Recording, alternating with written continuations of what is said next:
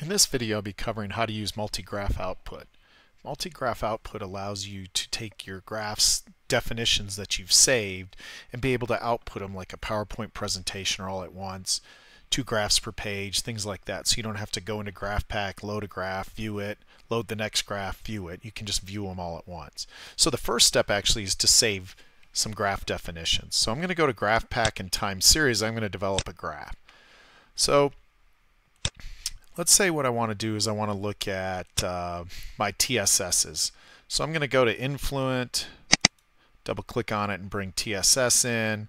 I'll go to Primary Effluent, choose my TSS there, go to Effluent, find my TSS there, Click OK to bring that one across. Now I'm going to go to overlay and put my mixed liquor suspended solids.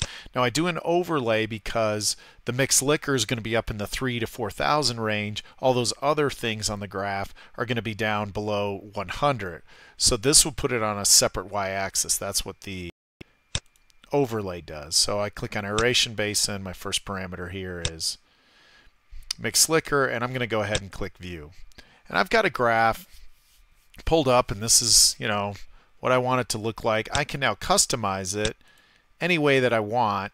And then when I'm ready, I can go ahead and click Save. So this will save this definition for me, and I'm going to call it TSS Study.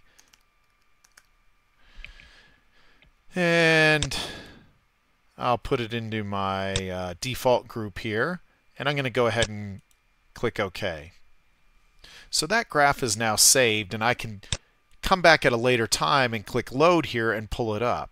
But now with multi-graph output, I don't have to go in and, like I said, load each graph. So let's say I want to output a series of graphs. I'm going to go to GraphPac, multi-output. Here are all the graphs that I've saved in my system. You notice TSS study is there. So that's the one I just saved. So in this case, now maybe I want to look at BOD. So I'm going to look at BOD versus flow. Uh, bring that graph across. I'm going to bring my BOD compliance graph, my BOD load compliance graph, and I've got a correlation graph. Notice this says COR, that's a correlation. A TS is a time series. So I've got a correlation graph that looks at my UVAS versus BOD on my influent. So I bring these four graphs in, and what I'm saying is I want to look at these four graphs all in a row. I also get to set the layout here in the lower left corner. In this case, what I'm going to do is I'm going to choose to do two graphs per page landscape. I'm going to send it to the screen. I can also as JPEG straight out. I can export them as JPEGs or I can just simply send them to the printer. Go ahead and click OK. And it brings these graphs up. So I see that first graph, my influent BOD, TSS versus flow. I see my BOD compliance with my limits. So these are all graphs that I've saved. I zoom in, makes it a little easier to see them. Click Next. Here's my uh, BOD load against my two regulatory limits. And then here I see my correlation or scatter plot of my UVAS versus BOD. I can also take a look at graphs. I can clear this out. And I can just look at a single graph. And let's say I want to look at it over certain time periods. So I'm going to bring my influent flow graph in twice.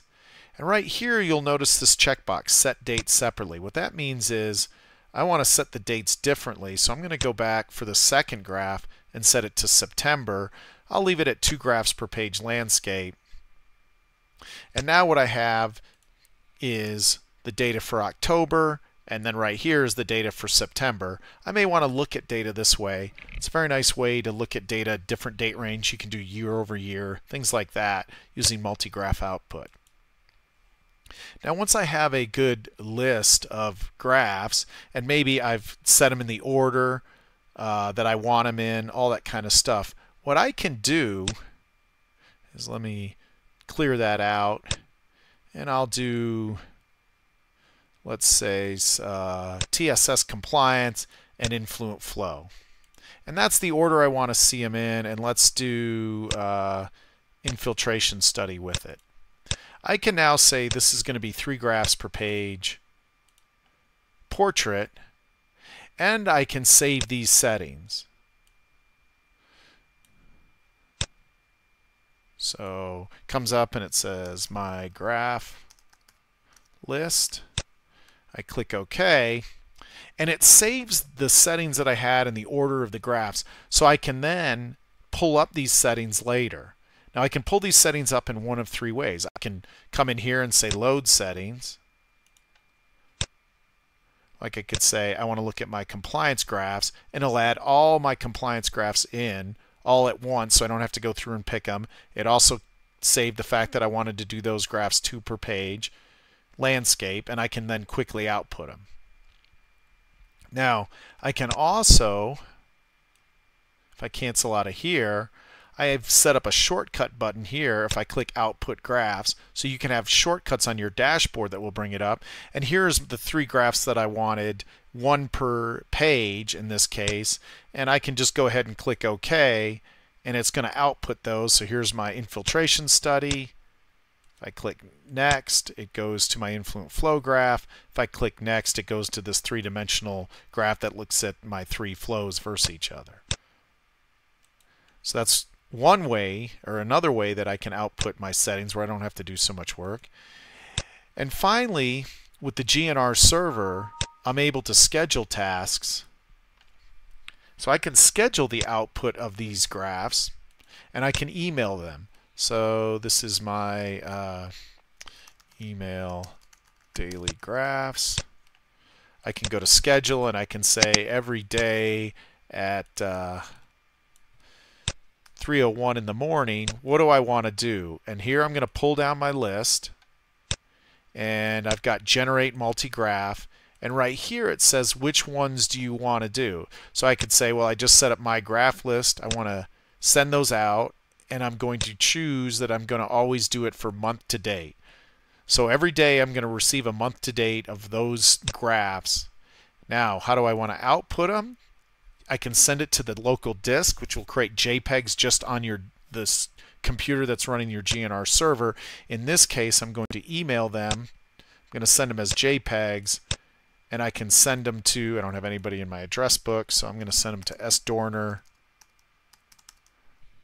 at hach.com. Your graphs, sir